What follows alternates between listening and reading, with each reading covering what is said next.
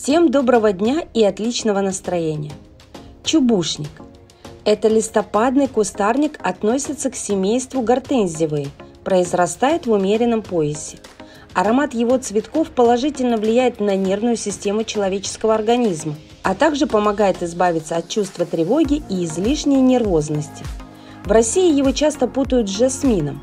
Прежде всего хочу сказать, что жасмин – это вечно зеленое тропическое растение – Относится он к семейству маслиновые.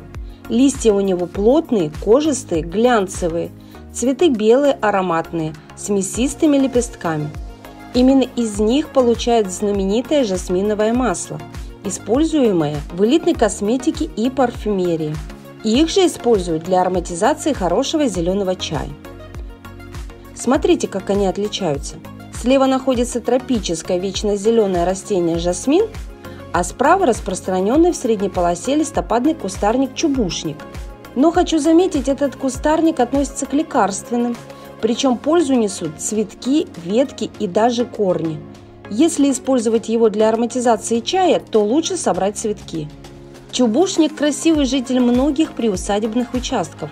Его цветки не только ароматные и красивы, но еще и съедобны. Настойки и настои из лепестков чубушника используют для повышения жизненного тонуса, активизация мозговой деятельности, снятие нервного напряжения, нормализация сна, снятие мышечного напряжения, мочегонного эффекта, лечение депрессивных состояний. В составе цветков и листьев обнаружены биологически активные соединения, определяющие целебный потенциал растения – Эфирные масла, придающие чебушнику приятный запах, определяют его противовоспалительные, болеутоляющие свойства. Фитонциды, кумарины и другие оказывают бактерицидное действие, улучшают регенераторные процессы. Органические и ароматические кислоты, аскорбиновая, салициловая, нужны для поддержания в организме биохимических реакций, кислотно-щелочного баланса. Витамины С, Е, ПП нейтрализуют процессы окисления в клетках, улучшают крововетрение, положительно влияют на метаболизм.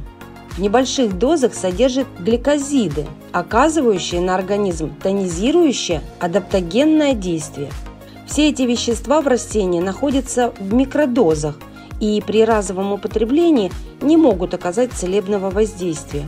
Чтобы почувствовать положительный эффект, Пить цветочный настой рекомендуют на протяжении хотя бы 2-3 недель. Цветоносы чубушника следует начинать собирать в сухую и ясную погоду.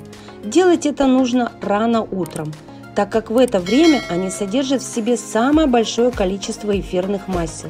Сушат цветки садового чубушника сразу после сбора при температуре не выше 40 градусов, чтобы они не потемнели и сохранили свой аромат.